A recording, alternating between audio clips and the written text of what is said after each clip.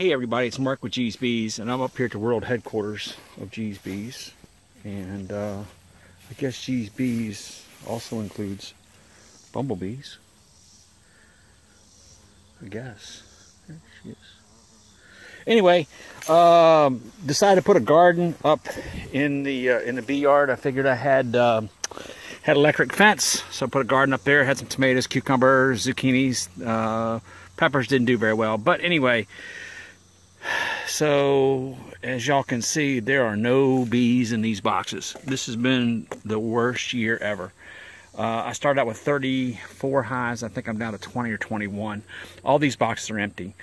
So I took the time now to rebuild some stands. Um, kind of got a solar wax melter there but not really. It was a different project. Uh, it was the, the steam uh, frame uh, wax melter.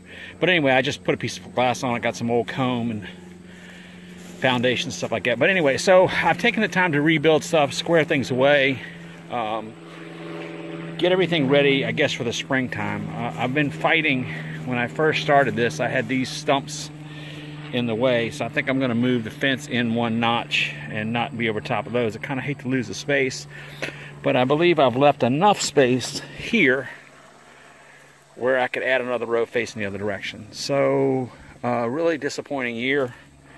Um, but I understand there's there's a lot of uh, beekeepers that had the same same troubles this year. Uh, just no honey. I'm really having to start to feed uh, feed the bees, um, and it gets to be expensive. So, but anyway, just want to give you all an update. At least we got bumblebees.